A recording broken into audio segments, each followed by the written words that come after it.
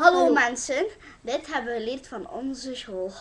Bonjour ma copine, ah, ah bonjour mon cher copain. Comment ça va, ça va bien, au revoir et à demain.